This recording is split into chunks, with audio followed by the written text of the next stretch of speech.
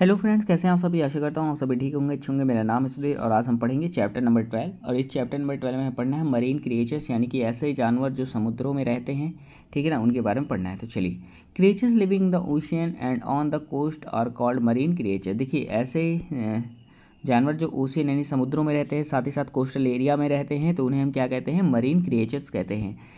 अब आगे आते हैं। Some of the some of them are distinct due to their unique feature और ये बहुत ही अलग होते हैं क्योंकि इनके पास एक अलग तरीके के खूबी होती है। तो चलिए शुरू करते हैं पहले नंबर पे।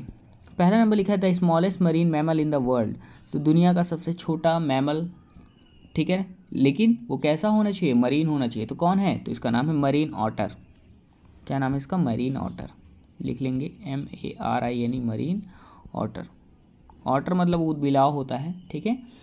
चलिए second number the fish has the most number of eyes six eyes ऐसी कौन सी मछली है जिसके पास छः आँखें होती हैं? तो इसका नाम है स्पूकिस।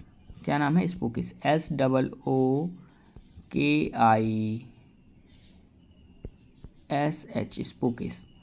अगला है the heaviest bony fish in the world यानी कि ऐसी मछली जिसकी जो हड्डी होती है, वो बहुत ही ज़्यादा कैसी होती है?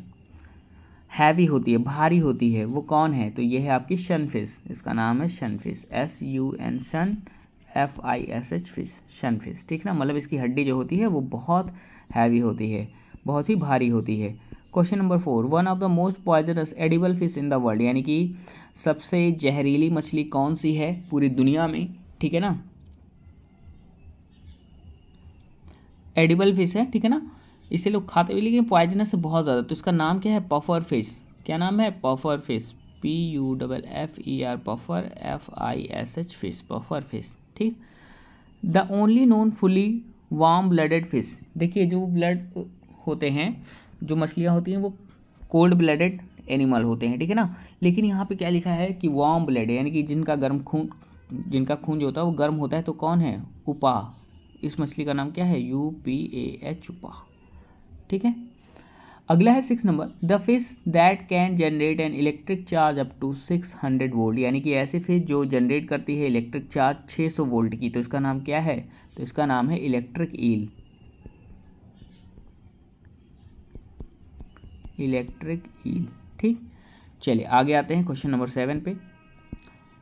A fish that can change texture and colour blend with its surrounding, यानी कि ऐसी मछली, जैसे गिरगिट होता है ना, अपने आसपास के रंग को बदल लेता है देख के, उसी तरीके से ये मछली भी है जो अपने कलर को बदल लेती है, ठीक है?